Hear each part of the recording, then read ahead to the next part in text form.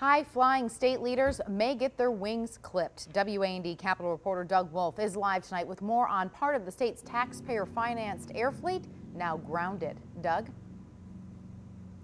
Dawn, it's a sign of state government excess, flying the state's top birds and wild chickens. Tucked out of sight in a hangar at Capitol Airport are some of the state's 22 taxpayer-financed aircraft. We have $4 billion of unpaid bills, and we have, we're the state with the largest air fleet in the nation.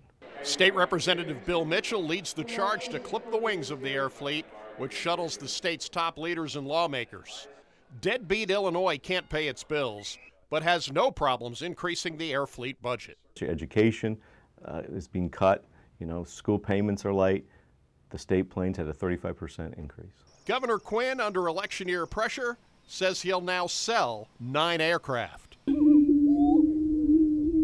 We told you in May planes were being used to transport wild prairie chickens from Kansas to here in Illinois, where the chicken population has dropped since the 1940s. Broke Illinois is flying them back in an executive aircraft. Now that's the real problem I have with that. Mitchell says the governor is taking the right step, telling state employees they can drive or take Amtrak. And as for those prairie chickens, the days of flying first class may be over. They shouldn't be on our aircraft. Should not be. Learn to fly themselves. I, I hate to say, I think what they do to that aircraft.